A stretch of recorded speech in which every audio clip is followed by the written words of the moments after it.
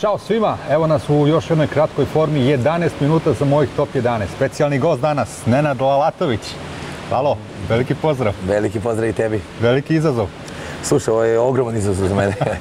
Baš veliki izazov, može se neko naljutiti, ali ja se nadam da moji bivši sagrici neće ljuti na mene ako sam nekog zaboravio. Nema ljutnje, da, da. Mnogo ali nema ljutnje ovo Mnogo je njih koji učestvovalo u ovoj rubrici, nije bilo naljućenje do, do, do sad. Da, da, pa neće biti ni sad. Da, ajde da krenemo redom, da krenemo od eh, Zvezde. Tu je sve počelo. Koga ćemo iz Zvezde i posle kratka priča o tom igraču. Iz Crne zvezde koga ćemo? Da. Pa iz Crne zvezde možemo samo prvo Guzenovića. Može. Treba zapišem, da? Da. Na beka, jel da? Da, da, levi bek. Dobro. I onda zašto, da, zašto Gvozdeni, Pa, neka anegdota. Pa zašto Gvozden? Zato što je bio jedan reprezentativni igrač, zato što je sa mnom osvojio četiri trofeja, zato što smo igrali zajedno i u mlađim selekcijama Crvene zvezde. Bili smo cimeri, posle, on je bio i, i kad sam ja posle kapiten i zamenik, mog kapit, zamenik mene, znači kad ja nisam bio kapiten, onda je bio on, kad sam imao karton i sve ostalo. Proveli smo detinstvo zajedno.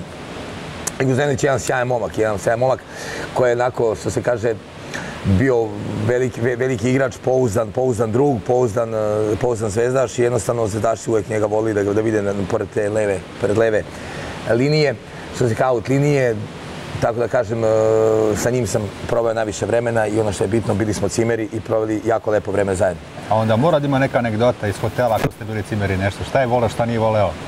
Pa Gvozden onako, Gvozden je voleo, moram da kažem, kad ima tremu, da se ono malo naljuti e, pred utakmicu, da kad hoće nešto kaže, da malo zamuca.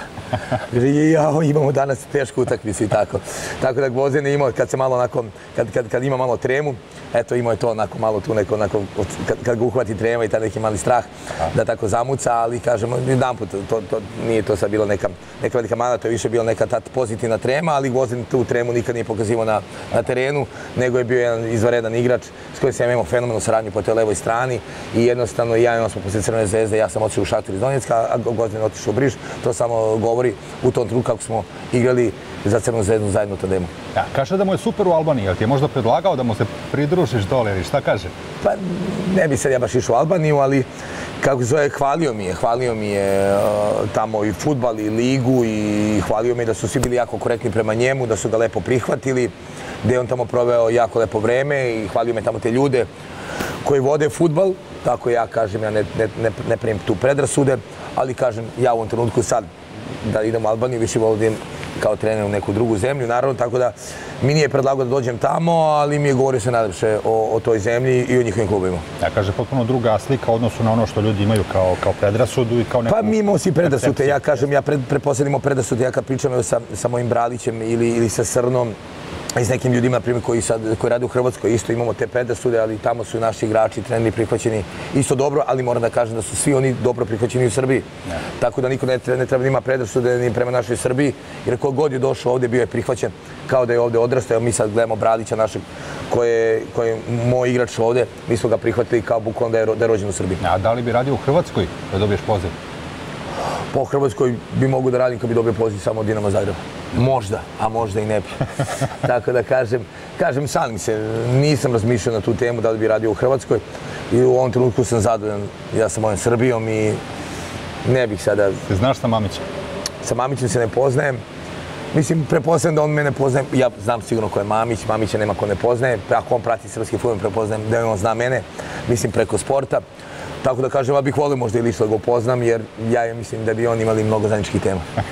Idemo dalje. Imao ste neke pozajmice dok ste bio pod ugovorom sa Zvezdom e, i možda najupečatljiviji trak si ostavio u milicionaru. Je li tako? Ona sjajna generacija, mnogo dobrih igrača. Jeste.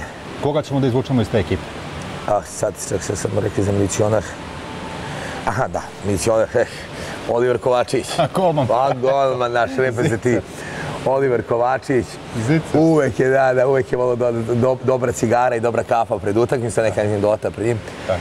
I kako se zove, i onda smo, ja mi smo baš bili dobri prijatelji, i dan danas smo dobri prijatelji, i ja volim da ga vidimo, on uvek tako nasmeje. I Kova je stvarno bio, mogu napravi, još mnogo je mogu napravi, kakav je bio golman, još mnogo bolju tu golmansku karijeru. Eh, volio je da se sakrije eh, pred utakmicu ili, po, ili na polovremenu i ja kad ostavim ako dim ciga, cigara, ja kažem, a to kovo u toaletu. I on sam otvorio ovako vrata, zapali cigaru, kaže, ja sam, ja sam u kaže. Tako da je Kova volio dobru kafu i dobru cigaru da, zapa, da, da, da popije kaficu i dobru cigaru da ispuša na polovremenu. Bio je jedan sjajan golman i sad je sjajan trener golmana s kojim sam imao čast da sarađujem i u, i u i u Čukaričkom i vidite da on pra- da radi svoj sjajan posao, da Čukarički sad ima sjajne golmane i, i, i ima dva sjajna golmana, jednog mladog koji je sad mislim, reprezentativac i koji je sigurno prodati u budućnosti i gdje će Čukar, Čukarički zaraditi, napraviti na njemu jedan veliki transfer, zahvaljujući jednom sjajnom treneru golmana Oliveru Velikom Kovačeviću. Upiši ga, upiši ga, a, a ja, ja se sjećam jedne strašne priče sa Kovom, pripreme za ono svetsko prvenstvo 2006. gdje je on bio zamena Dragoslavu Jevriću, znaš. Da, da. I dolazi reprezentacija, okuplja se u teleoptiku gore u sportskom centru i svi dolaze u civilci, naši dolaze sad ove zvezde, vedete, Vida, Keža, Deki, Da, da, znaš. da, da. Dolazi Kova isto u civilci, a pita čuvar kuda? kaže Kova, pa okupljanje reprezentacije. A čuvar kaže, pa. Ko si ti? I to Kova sve priča, znači nije... Pa dobro, Kova, nije, Kova nema te komplekse i Kova je jedan stvarno sjajan momak koji je dobar sjajan i za atmosferu i stvarno je bio reprezentativni golman i ja o njemu imam stvarno, stvarno jedno visoko mišljenje. Super. Imamo Gvozdana, imamo Kovu, idemo dalje. Bio si u Radničkom iz Kragovca. U Radničkom iz Kragujevca, a, da, bio sam u Radničkom iz Kragujevca, to je jesen lep, lep, lep, jako lep period u, u, u, u, u mom životu, gdje sam sa, mogu slobodno reći sa mojim radničkim, jer, jer to je bio prvi put da se odvojam od svoje kuće, gdje sam otišao, proveo godinu dana i sa radničkim sam ušao iz druge, poslije 20 i nešto godina iz druge lige u prvu. Znači, igrao sam standardno, bio sam i tamo ljubimac, tada navijača radničkog, igrao sam, e, igrao sam, igrao sam stvarno jako dobro na jednom visokom nivou, jer sam tada, kad sam kao igrač radničkog iz Kragujevca, sam dobio poziv sa Drulićem, baš, jer to je, to je naravno Goran Drulić, a, dobio sam poziv da idem u Barcelonu B. Naravno, ja sam odbio, da bi ostao u radničkom, jer moja želja bila da, da jedan klub iz Šumadije uđe i vrati se u Superligu, ja sam ostao tamo i sa njima ušao iz druge u prvu ligu i kažem, jako me lepo uspane vežu za taj klub i drago mi je što sad vidim da Radnički iz Kragujevca igra na jednom vrhunskom nivou, jer uh, srpski futbol zaslužuje da Radnički igra u super, znači Linglong ligi i ja sam siguran da će se oni vratiti i da ćemo već od, od leta gledati i gledati jedan veliki klub sa velikom tradicijom koji će igrati opet protiv Zvezde, Partizana, Vojvodine, jer apsolutno Kragujevac kao grad i Radnički klub apsolutno zaslužuju da imaju s- ekipu iz Super lige, a to je naravno Goran Drulić. Druva, pa da. Drula je... Piši ga Gorana to- Špica ili Pa i sad ću ga ovako malo, kažemo, poludesno, jer za špica čuvam jednog, još jednog igrača. još jednog igrača. Je bilo još neko zvučno ime u tom timu Radničkog? Predra Katić. I Katić je. Pedra Katić, isto zvezdno dete. Pedra, Pedra Katić i, i Goran Drulić su tada činili ubojiti tandem. Najviše su golova dali. Pedra Katić je, je, je nama mnogo pomogao, značio mnogo za nas. Bio nam e, kao stariji brat, što se kaže, nas se na pravi put kako da budemo, da odigramo na tom vrhunskom nivou u Radnički da bi se vratili u Crvenu zvezdu. I, kao, I jednostavno mi smo posle Radničkog, ja i Drula smo dobili Barcelonu B, Drula je otišao u Barcelonu B, ja sam ostao u Radničkoj i posle toga smo se vratili u Crvenu zvezdu. Drula je ostao u Crvenoj zvezdi jer je igrao u Barceloni, ja sam igrao u Milicionaru, pa se ja vratio, onda smo osvajali titule sa Zvezdom, osvojili četiri trofeja, ali da kažem, Predak Katić tu još, bre, nisu, ne, ima ih mnogo, ali kažem, jedno, jedno veliko zvučno ime koje je igrao s nama je i Predak Katić. Jel pamtiš neku, neku zajedničku anegdotu sa Drulom iz Pa sa Kragujevačkih drugom kako dana? ne pamtim, bio jako zaljubljen u to vrijeme i jednostavno ako mu se devojka javi, verujte mi, nije mogu da odigra utakmicu. I onda ja nju, ja nju okrenem, kažem, molim te, zoni ga prvu utakmicu, recimo ga voliš, daće dva gola. I ona kako ga okrene, kažem da ga voli Drula je tad uvijek bio najbolji na terenu.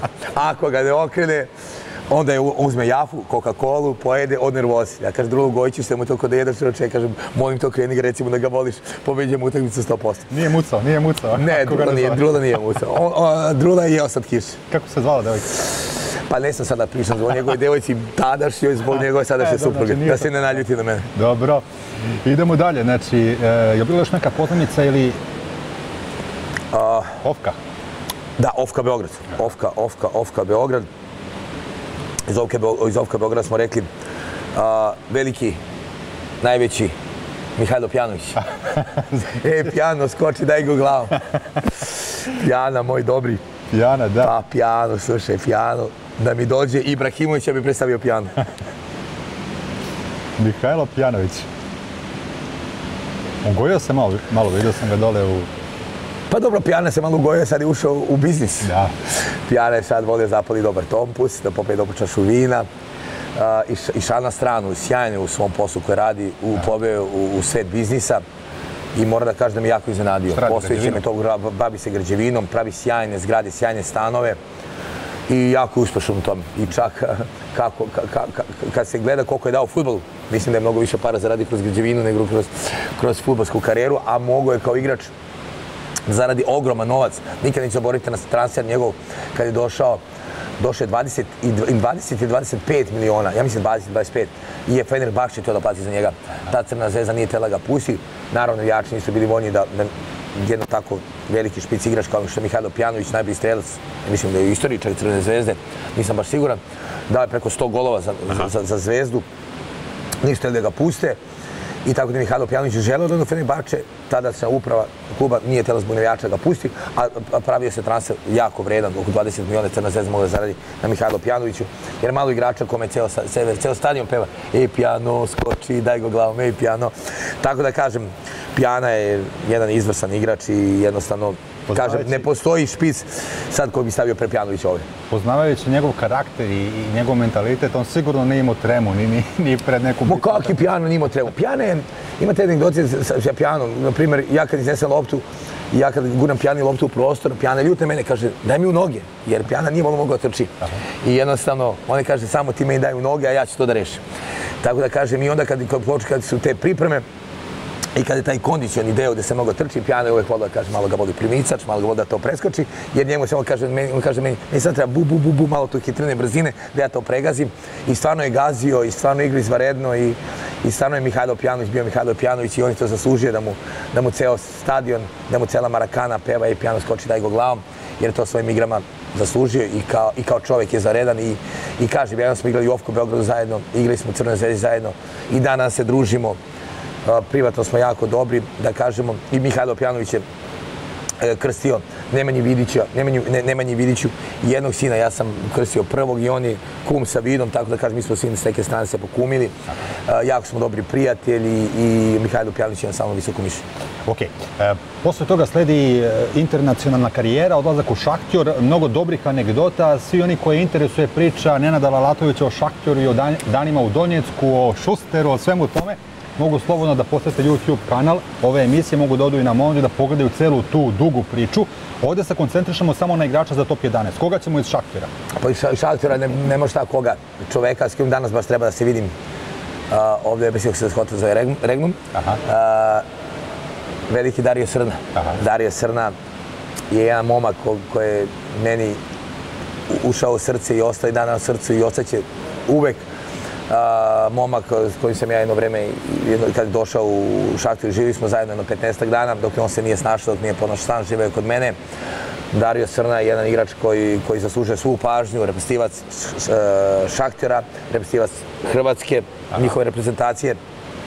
Igrač koji je maksimalno posjećao futbol, igrač koji je uh, jako dobar, jako dobar čovjek, jako dobar čovjek i kakav je čovjek to pokazuje, eto, i mi nismo zaboravili jedan drugo, drugom, i baš juče me, noća smo je u stvari okrenuli do 8 sati i danas će posjeti auto po mene da dođemo u Regnum, da se vidimo, da, da večeramo zajedno, da popijemo piće, da se ispričamo i da se i uvek se mi, kad god me on okrene, mi se prisjećamo naših dana i šaktora, prvi smo tu tri po godine zajedno i Dario Srna je sigurno najbolji desni bek koji sam ja ikad igrao. Još ga, da upiši ga. Ne mogu da se setim tada kada smo pravili intervju o Šaktjoru i o svemu tome, da li smo pominjali neku anegdotu sa Crnom, a siguran sam da ih ima puno. Pa sa Crnom ima puno anegdota, eto, ima jedna anegdota, sad dalje kažem ja, molim sad šta pričam. Kako zove, jedno večer smo izašli, posle pobede, popili smo par pića i zaustavila se policija. I sad tamo policija, voz, Crna je tad vozila jednog Mercedesa, a, tamo je policija ta vozane lade i sad Crna im otvori ovako malo prozor i sad tamo kad, ako malo popiješ, kad im daš 100 dolara, možda ideš. I Crna ovako otvori prozor i sad pošto mu zatlaka bila stakla i ovako gure 100 dolara i sad policajac uzme, Crna mu vrati. A on kaže, davaj bljede dzengi, davaj pare. Sad nam opet gurne, ovo vrati i mi pogasu policija za nama, brzo utrča u kola, mi odemo 100 metara, srno se opet u parkira, policija sa ladom, trk, trk, trk, ko traktor ide za nama, ništa je sad, mi se malo tu šali sa njima, sad to je bio debeli buca policajac. I onda, kako se zove, on opet, davaj, davaj, Zenge, davaj, Zenge, da, da, daj pare, samo da možemo vidimo. I Srna sad se smeje, mi smo pustili tu našu muziku i Srna mu ovako kroz prolazak daje 100, vrati i damo 100 dolara. Naravno, popio par piva, I naravno smo otišli, na, otišli kući na spavanje, smo sutra imali trening, tako da kažem, ja i Sana smo se jako dobro družili, izlazili zajedno i posjećivali se on kod mene, spavo ja kod njega, da kažem, eto, to je jedna anegdota, gdje Dario Vola se malo šali i čak i sa policijom u Krinsku. Super. E, posle toga Wolfsburg, kratko si tamo bio, nisi nešto puno igrao, ali si stekao prijatelje za cijeli život. Kako ne, pa ja, ja sam bio igrao šaktor gdje sam bio suspenom baš kod Šustera i sam baš u Nemačku. Mene je Wolfsburg tad teo da otkupi, dao je, platio tad 300.000 eura, je platio samo pozemicu moju, da dođem na četiri meseca i teo da plati još milijon i pa eura moj otkup. A tada, tada naravno Rinat Ahmetov to nije teo da dozvoli. Mene Rinat, ja sam bio jedan omiljenih igrača Rinat Ahmetova i jednostavno ja sam želio tada ostati u Wolfsburgu i molio sam ga da, da prihvati još tih milijon i pa eura, da ja potpišem za Wolfsburg ugovor na četiri godine, da igram, Bundes, igram u Bundesligi. I kad sam trebao da debitujem protiv Herte, uh, Kvatroći, on, igrao, on, je, on, on je iz, iz Argentine, uh, Argentinac je, ja sam uklizao jedan, u jednom, jednom startu na njega, on kako je poskočio, u sam ja pao, on mi je pao kolinima na rebra i imao sam otvoren prelom uh, rebara i tako da sam posle toga bio u bolnici i teško sam disao i onda je posle već bilo gotovo za mene ta polusezona. Tako da nisam tu imao tu sreću da debitujem. Trebao sam da debitujem baš u Berlinu proti Herte, kod je bio trener Reber on me i doveo tamo da kažem da ostaje meni velika žal. Ili mislim da bi ta Nemačka liga, Bundesliga, meni jako odgovarala. Jer dok sam bio igrač Crne zvezde, imao sam dve zvanične ponude, Schalke 04 i Bar Leverkusen kod Tom Mellera. Te godine smo iz Crna zvezda, ja sam bio kapitan, igrali smo protiv, protiv Bayer Leverkusena, Markani je bilo 0-0, uh, u Leverkusenu je bilo mislim 2-0 za njih, nisam sad siguran. I tad je Tom Meller, ja sam mu se dopao, te da me dovede, ali uh, posle te utakmice bila je pauza 15-20 dana i onda ja nisam, i napravio sam pauzu 15 dana gdje nisam trenirao, on je tražio da sam da se urade testovi, da vidi da sam spreman 100%. Ja sam rekao da sam napravio pauzu 15 dana, njima je trebao igrač, on dođe već sutra da igra i onda je pao uh, uh, uh, odabir na drugog jednog igrača iz Brazila. Ja tada nisam potpisao njih, imao sam šalke 04, tako da kažem, jako mi je žao što nisam uh, otišao u Nemačku, mislim i tamo napravio izvrstu karijeru za sebe, jer ta liga bi meni 100% odgovarala. Koga ćemo iz Wolfsburga? Pa iz Vozruka bi, bi postavio, znači, to je Hrgović, koji inače igrao nekad u uh, Hajduku iz Splita i bio Hajduško srce. Uh, Hrgović, sad... Malo je napadački trio Jana Drula Hrgović. Da. Pjana, Pjana Drula Hrgović. Pa Hrga je, kažem još jedan, jedan izvrsan moma koji me tamo prihvatio i zato vam hoću ja reći, mi uopšte, mi predrasute nemamo u sportu. Da, da, da li ste iz Albanije, da li ste iz Hrvatske, da li ste musliman, jedno se mi se tamo inostranstvo i družimo, jedva čekamo da neko zna naš jezik i prihvatamo se kada smo odrasli zajedno. Hirović sam bio u kući i zvao me sto puta na ručak, izvodio me i upoznao me sa gradom i bio mi je podrška jer sam nisam znao nemački jezik kad sam došao. Znači bio je uz mene i ja mu to nikad ne mogu zaboraviti. Ima ih još mnogo tamo koji su bili uz mene u Voz Salzburgu, ali kažem, od svih njih nekako bi izabrao, izabrao Hrgovića, koja je izvrsan momak i koja je onako bio luckastan na, ne, ne, neku, na neku, neku, neku svoj način. Vole tako da pravi anegdote, vole, na primjer, kad, kad, kad dođeš, vole da preparkira auto, na primjer. I sad ti dođeš, imali smo svi broj 1, broj 2, broj 3, svako ima svoje mesto. On je to često radio. Na primjer, moj sa trojke prebaci na... E, jer smo svi imali iste automobile. Bio je, na primjer, svi smo imali pasati, da. I on sad uzme u toku, u toku treninga ili pre trening, moj sa trojke prebaci na keca, keca trojke. I ja sad dođem ispred mogu i ono, radim, neće se otvori. Tako da on vole tako da pravi te, te smisalice što se tiče automobile, jer smo svi vozili iste automobile. E, on se nije šalio sa policajcima. Pa on se pa u Nemačkoj nema šalio sa policajcima. U Nemačkoj ko se našali s policajcima, zna se da ide. Nema ni u Ukrajini, ali to vreme je tad malo bilo tako da gdje smo mi bili jako popularni u Donjecku i policajci nas jako voljeli. I sad on, ali opet kažem, kad mu da 100 dolara, možeš malo da popisu. Imao si jedan nastup za reprezentaciju i to u Ksanti, ona prijateljska utakmica protiv Grka. Bilo je 1-1, ja sam ovdje povodio s kim si igrao u tom timu, treba da izvučeš jednog igrača, ne sme da bude zvezdaš. Dobro.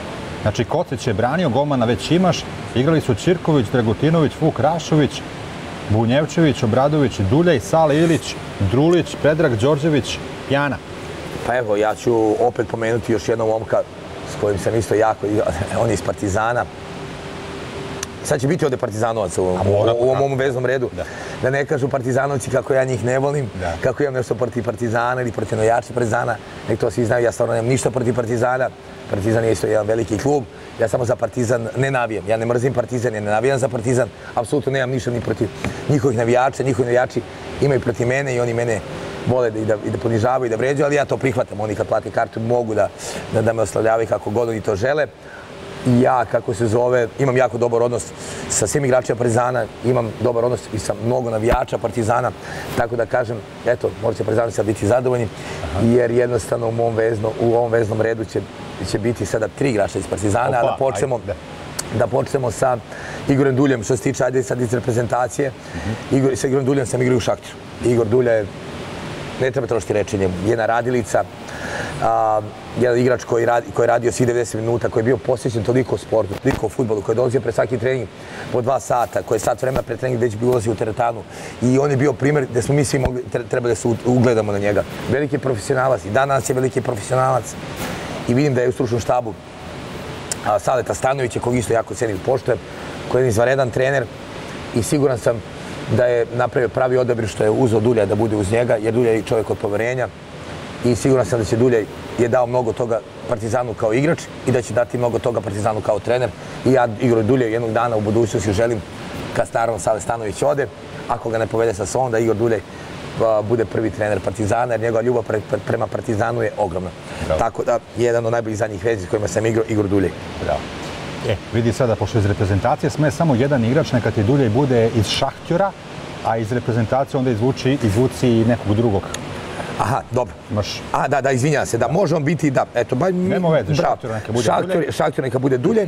Kažem, u dulji nema mnogo anegdota, zato što je bio toliki profesionalac, Aha. da se on nikad nije volao se našao. Mislim, volao se našao ovako u nekoj priči, ali je bio ono, što se kaže, par excellence. Aha. Ali neke anegdote njemu, da kažem, vole, mislim anegdote, ka, a, e, a, e, pošto sam igrao i sa njim i sa Zvonimirem Vukićem, Njih dvojica su onako malo voli, po neki da se pohoškaju, što se kaže, Dulja je volio da gleda emisije, emisije o, o naravno, našem velikom boji Šešelju, kome ovog prilika mogu se da pozdravim, koji sam isto jako volim kao političar. Ja politiku volim, meni ljudi zameraju, ali ja sam primjer doktora Vojislava Šešelja, ja znam da je on doktor Vojislav Šešelj, kome sam se ja divio kao dete i jedno sam njegov te govore, mitinge, ja sam volio jako da pratim, da gledam. I kažem, uživao sam u njegovoj hrabrosti. I Duk je to volao, šta? I Dulje je volao gleda kako se doktor Vojislav Šeše naš brani u Hagu, jer smo mi znali svi da Šeše ni za šta nije kriv. Otišao je tamo na pravdi Boga jer je bio hrabar, da dokaže svima da je nevin i on je dokazao svima da je nevin. I drago mi je što, im, što imao take Srbe poput njega, take Vojvode kakav je bio on.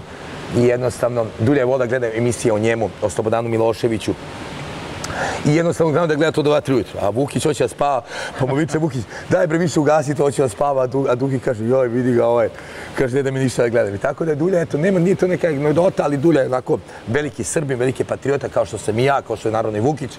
I jednostavno, ja i on smo zajedno uživali da gledamo i Slobodana Miloševića, na, na kakav se način par excellence branio, kako mu nikad niko ništa nije mogao i nije imao advokate. To je tako i doktor Vojislav Šešelj. Šešelj, uživali smo i ja i Dulje u tim njihovim emisijama, koliko, imamo mi, koliko smo imao pametne političare. Mm -hmm. I tako da kažem, sve pohvale za, za, za, za doktora okay. Vojislava Šešelj. Ajmo još jednog iz, iz ove reprezentacije, pošto je Duki iz e, Šahtjora. Da, iz reprezentacije, pa eto, iz reprezentacije, Sad... Evo ti, ti si zamenio Rašovića na početku drugog polovremena, bilo je 1-1 na kraju. Jel tu bi se bio... Saša Ilić je bio. Sali, sa, Sali Ilić. Yes. Pa nema šta, znači što se tiče, što se tiče toga, Sale Ilić je... Uh, sada ne mogu, sam, ja, mislim da sam imao i Zvonimira Vukića. O, Vukića isto iz Šakjera možeš, jer nisi, nisi ga zakačio u reprezentaciji. Znači ovdje nisam... Uh, bio je tu Dragutinović, ali već imaš levog beka. Da, nema veze. Čirković bio je... Da spomenemo, da spomenemo Saleta Ilića, ali Sali Ilić je bio tu. Bio je Sali Ilić, da. da. Sali Ilić je bio Ovo je bila četvrta utakmica reprezentacije. A sad, da li sad ovdje samo govorimo, o, mogu da govorim o mlade reprezentaciji i o A Samo Atim. Samo Atim, da. Stavi Saleta, ajde. Do, Sali Ilić, pa nemaš tu Sale.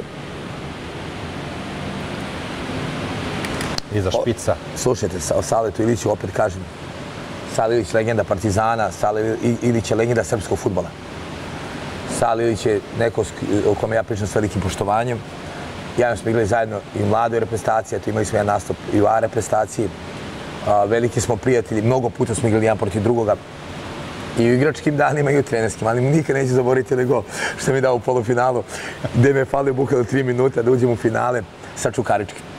Protiv Partizana. Partizan sam pobedio na, na, na banom bodu 4-2, a izgubio sam 2-0 na stadionu Partizana i da je ostalo 1-0, ja bi ušao u finale i tada igrao protiv mladosti iz Lučana. Možda bi osvojio, možda bi osvojio trofej pre, už sam osvojio ovaj, god, dve godine pre ovoga, što sam sad posljednje osvojio. Ali Salinić mi je, što se kaže, zagorčao život, ali neka, Salinić je jedan sjajan momak e, koji imao veliku inostranu karijeru, ko, ko, ko, ko, ko, ko navijači Partizana obožavaju, on njihovo božanstvo i treba da bude, jer on je to apsolutno zaslužio.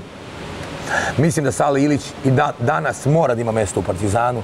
Prosto mi nije jasno da da nije našo neki zajednički, da, ovo, ne on, nego da uprava kluba nije našo zajednički jezik sa njim, da mu je dala neko mesto. Uh, ja sad ne znam ko je sportski direktor Partizana, ja mislim da nemaju. Je lijevo?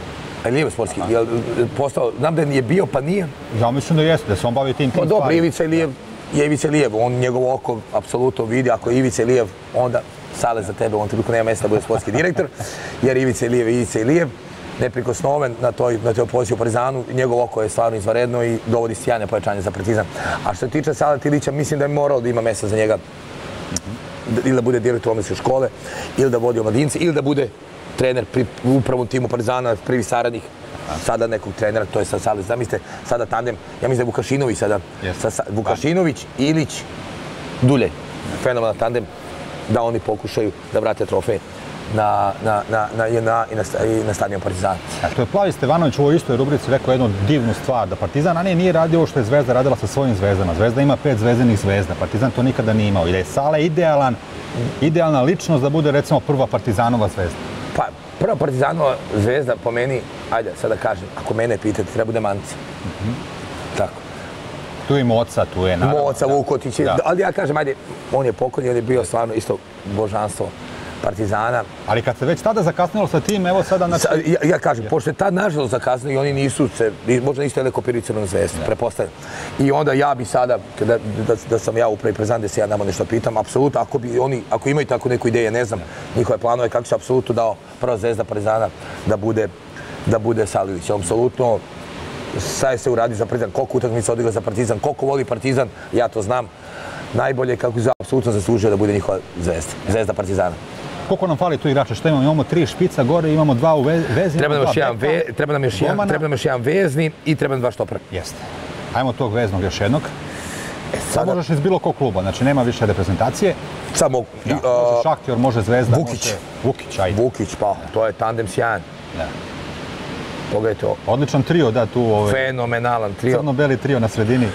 Uh, igrač koji je radilica, Oni nisu mnogo da radi defenzivu, jedan i drugi igru sam s obojicom, a Dulja je tu da njih pokriva, ali Dulja je zato njima preda loptu i onda oni njihove lopte imaju oči i oni razigravaju Hrgovića, Drulića i Pjanovića i mislim da ovaj tandem ovde i bi bio fenomenalan i da bi ovaj sad tandem, ovaj tim sad koji ja budem napravio, da bi ovaj tim sigurno igrao grupnu fazu Lige šampiona. To sam ubeđen. A što tiče... Vukić još radio, sem što nije mogo da spava od Šešelja pa, i Vukić je, Vukić je onako jedan igrač koji isto mađioničar futbala, njegova lopta imaju oči, znači jedno prema što dobije loptu, on već ima reše, rešenje unapred da, i uvek je dao pas taj u dubinu, što se kaže, i jednostavno svi su ga treneri voli. Bio je u to vreme bio proglašen za najbolju, najbolju desetku šaktora kada je došao.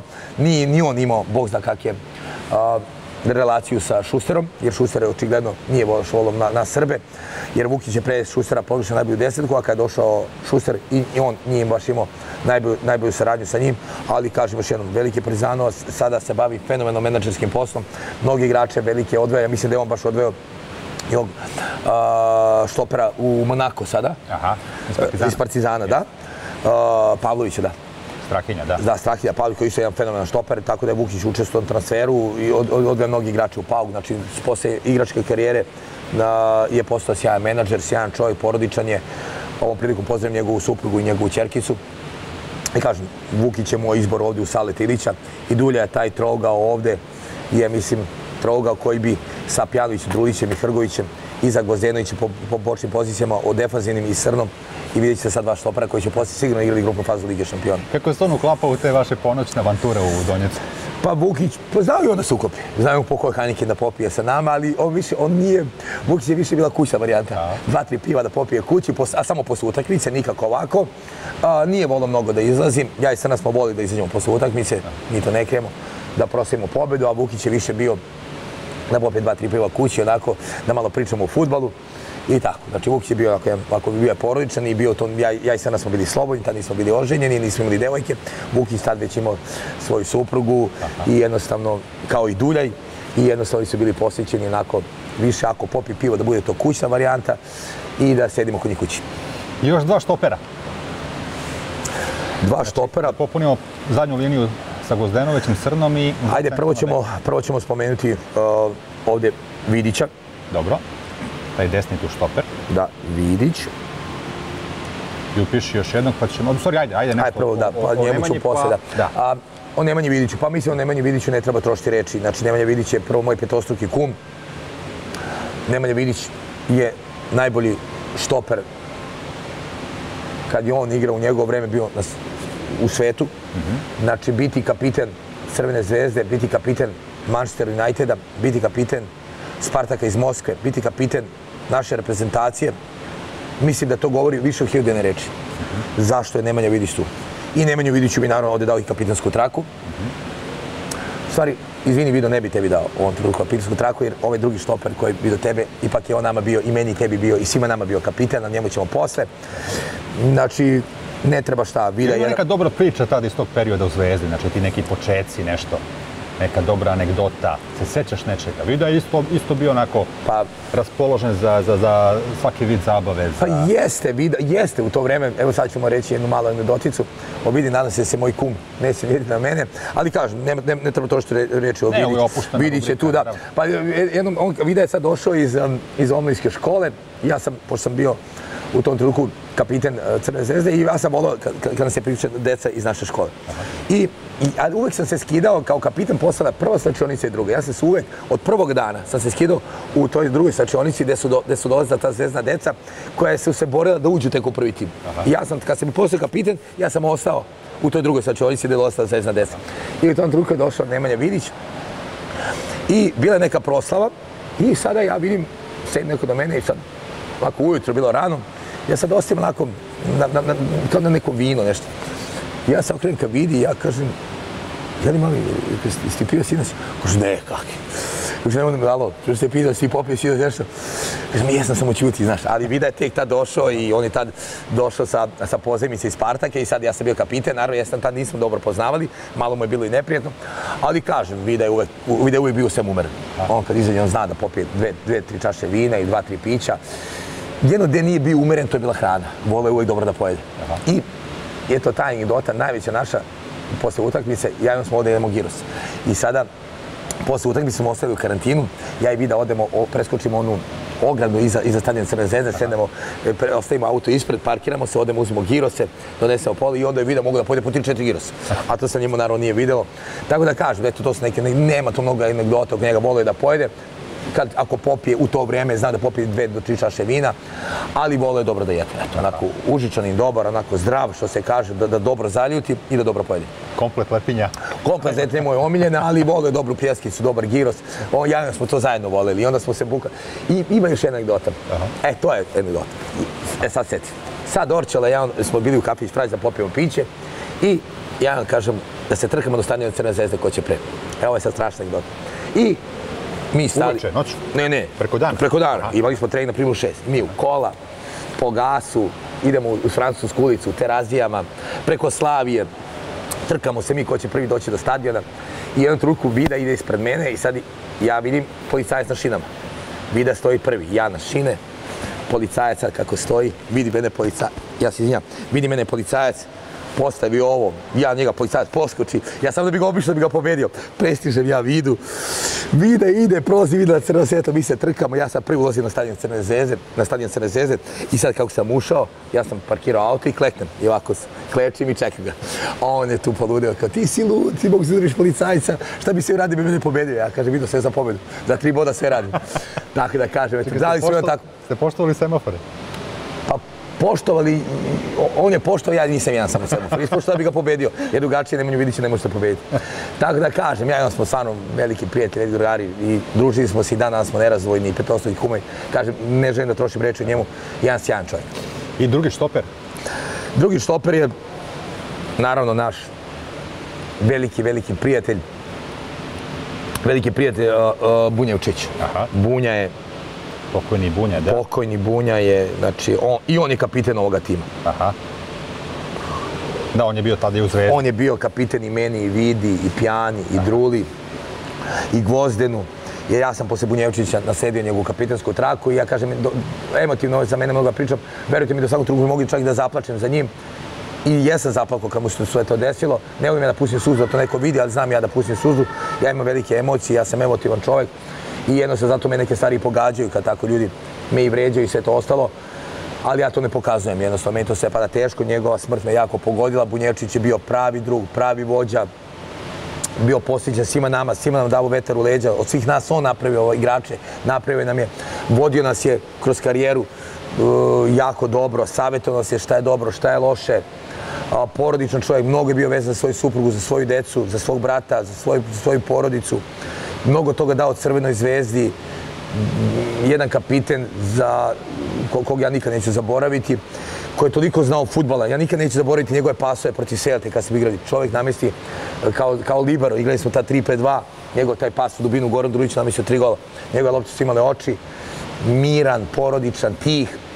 Možda i ga je to sve i koštalo, ta njegova dobrota i smirenost i sve trpe u sebi. Mm -hmm. Smatram u današnje vreme gde ima puno nepravde, gde meni ljudi to zameraju, ali verujte mi, ja kad bi trpeo u sebi sve i gutao to u sebi, i meni, meni bi možda srce stalo. Znači njemu, on je naravno imao izlik krvi mozga, ali kažem, to je sve i stres i nervoza. Toliko je bio dobar, nikom nikad nije teo se zameri. Uvek je sve to trpeo, bio tih. Ja sam rekao, bunjo bre, udari rukom u sto, kaži neću tako. On je svima teo da pomogne i uvek je se rekao, dobro, vidjet ćemo. Ma kad nešto ne može, ne može, kad nešto može, može. Kad te neko uvredi, vratim nemoj se da trpiš, jednostavno ne trebaš. On je toliko dobar bio, kažem da kažem, ne znam šta kažem njemu. Mnogo mi nedostaje i, i znam da mnogo nedostaje i njegove porodice, njegove deci, i njegovom bratu i suplu i, i svim ostalima, pogotovo naravno i nama, njegovim saigračima. I koga god pitaju bunju svih njih, svi će imati samo reči hvale o njemu, tako da kažem, šlag na tortu u ovom timu je najbolji igrač ovog tima, kapiten ovog tima, vođa ovog tima, pokojni Goran Bunjevčić. Te veže neka lepa priča za njega? Pa vežu me mnoge lepe priče, znači u, u Bunji, kažem, ne treba, ne treba trošiti reči, kažem, e, veže me ta lepa priča, na primjer, moj prvi derbi, kad sam saznao da ću igrati, e, gdje gde je bila puna Marakana, gdje smo pobedili Partizan tada sa, sa 2-1 i tada smo svoju duplu krunu, gdje je došao pred utakmicu, vidio da sam malo nervozan, to je bila moja prva, prva, bila moja prva velika utakmica pred punim stadion, gdje je došao, gdje me pozvao, gdje je došao kod mene, ne, ja se izvijem, on kod mene u sobu, gdje je gozdan, rekao, možeš na 5 minuta, danas je prva utakmica, prvi ti derbi, postavio mi kako treba da igram, rekao je, prati mene, ja ću te voditi sve vreme, pričat ću ti i vodio me toliko dobro da sam ja, da sam, da sam ja na toj utakmici čuo i lijeva i bio igrač utakmice. To je, znači, on me vodio tu utakmicu, i jednostavno savjetovao me kako da igram sve vreme bio uz mene, rekao mirno, primi loptu, odigra prvo do sebe, iznesi je. Znači, nakon dao mi je vetar leđa, bio sam pun samouzdanja što imam njega pored sebe i na toj utakmici sam proglašen za igrača utakmice, da kažem ja taj neke stvari nikad mu neću zaboraviti i ne mogu nikad zaboraviti kad je ono što u Totihim da sam ja nasledio njegovu kapitansku traku. Znači, od Bunjevčić se najbolje. Hvali mi još trener u tom timu, znači neko sa kim si sarađivao tokom igračke karijere i ko, ti je, ko je najviše uticao na, na tvoj razvoj i na tebe kao ličnost? Pa najviše na moj razvoj i na moju ličnost je usticao Stanislav Karasi. Uh -huh. U milicionaru? Stane Karasi me trenirao u Kragovicu, Stane Karasi me trenirao dve godine u milicionaru. Poslije njega došao još jedan veliki vuk srpskog futbola, Đorđe Gerum. Aha. Đorđe Gerum je i, i trener kome sam se uvijek divio, kog sam jako volio, ovom priliku ga pozdravljam. I želim mu sve najbolje njemu, njegovoj porodici. Pozdrav za Đorđe Geruma. Nismo ga dugo videli. Nisam ga dugo vidio, volio bi da ga vidim, volio bi da ga čujem, jer mnoge stvari si bi od njega naučio kao trener, bio onako strog, znao da se našali, znao da napravi dobru atmosferu, čak i ja neke njegove onako mo, mo, motivacije pred utakmicu i dan nas koristim. Jer on kad te motiviše, Đorđe Gerom, kad te motiviše pred utakmicu, ti izgineš. A ima jednu dobru motivaciju pred... Šta je umao da kaže? Pred, pred, pa znao je, na primjer, da dođe, dođe svom saradniku da kaže koji je zaklinjen na sastanak, mi smo igrali medicinaru. I kaže kako se zove, što ti ušao ovde? Što kasniješ? Si došao da drukaš, vidiš ko će igrati, izađi napolje. A vi ne budete danas pobedi, neću da vas vidim. Izađite pobediti utakmicu. A onda izbaci svog saradnika, na njega napravi pritisak kako je on hoće da, da, da, da, da, da drukne ovima gore generalima, njega izbaci, nas motiviše, mi se svi nasmejemo, onako, kaže, danas igraju ovi, hoće da sin, da se mi pokazuje da se najbolje izađe, onako, mi za njega smo stvarno, što se kaže, ginuli, davali, da, davali smo srce, srce smo ostali na teren za Đorđe Geruma, ali... A stane? Ali stane, Karas je ovako ovde, ovde što se kaže, Aha. Karasi. Karasi. Stane Karas je neko ko je uticao na mene i bio nekim teškim periodima mog života kad sam ostao bez majke. On, tad sam prvi put otišao kod njega i otišao od kuće, on mi je bio trener. Pričao je puno sa mnom, e, e, čak mi vozio me na treninge. Kad krenemo iz Beograda, ja odem e, gore na Topsiju da se zvedu, da se nađem sa njim, on odveze, vraćao. Bio mi kao drugi otac u tom trenutku savjetuje me kako treba da igram, ja sam došao tada i nesprem, bio mi veter u leđa. Jednostavno u tom nekom prekrici mog života, on je meni bio drugi moj otac i pomogao mi je da ostanem u futbalu i da postanem futbaler kakav ja sam postao, a postao futbaler, da sam sa njim ušao iz, sa Kragovicom iz druge u prvu ligu, a, da, sam, da sam sa njim i naravno posle stane, ta, mora pomislim i Joe Vojčića, sa, sa Joe, Joe je uveo Kragovac, stane je bio tu 8 meseci, pa stane kada ušao, veliki Joe Vojčić nas je vodio, pozdrav za Slaka Vojčića Joe, jednog sjajnog čačanina koji su tada uveo on zadnjih dva mjeseca u prvu ligu. I sad stane, to sam ušao i sa milicionarom iz druge u prvu ligu, igru godin dana prve lige. I jednostavno posle stane ta Karesija i dobrih igara. Po njegovom palicu ja sam došao u Crvenu zvezdu. Tako da stane Kares je stvarno a, moj drugi otac, što se kaže. Je bi bilo bar u stručnom štabu mjesta za Šustera? Pa znate kako, za Šustera sad ću reći, e, ne mogu da grešim dušu, do, odličan trener. Odličan je trener, ima odlične treninge, ali trener, da bi imali mesto u ovom stručnom štabu morate da budete i dobar čovjek.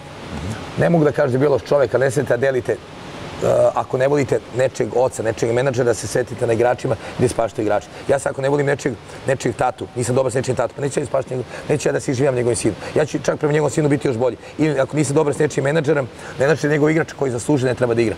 Da bi se ja njemu vratio, ja mu vraćam preko neko nedužne osobe. On je to radio, ja mu to zameram, to je radio meni, to je radio Lanetu Jovanoviću i to je radio Vukiću, jer nas doveo u šaktu Zoran Stodinović, on ima dobro odnos s njim i svetio se nam. Tako da kažem, mesta za Šustera nijednom, nijednom stručnom stabu gdje ja budem radio neće biti. Hvala ti puno, sastavio se odličan tim i, i hvala ti što si bio učesnik ove naše sve. Hvala vama puno. To je bio Nenad Lalatović, ostanite uz nas.